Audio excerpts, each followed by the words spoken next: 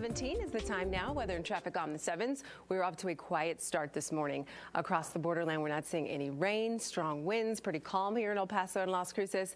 And I do think it will be a nice day today. There's an hourly look at our wind speeds, which shows from 7 to even 11 o'clock. And after lunchtime, the sustained wind speeds will be calm. So expect lots of sunshine at lunchtime, 2 o'clock. And at 4 o'clock, we're sitting around 69 degrees. So thankfully, it will not be as windy as it was yesterday. 72 is what I'm forecasting, so we'll run just a few degrees below the average.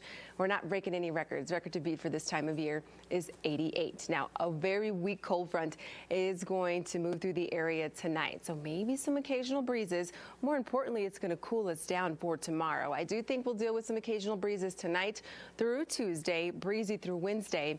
Thursday is the day that we are going to be keeping an eye on. I think that'll be the next cold front that will not only crank up the winds, but cool our temperatures down as we head into Friday. So I want to jump straight to Thursday's forecast. At 7 o'clock, the winds are calm in El Paso.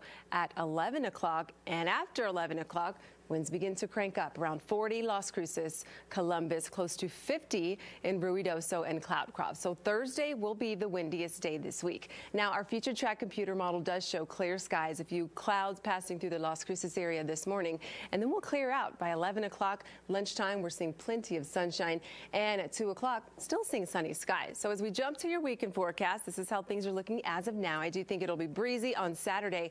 We'll warm to the low 80s on Sunday in El Paso and Las Cruces. By Saturday,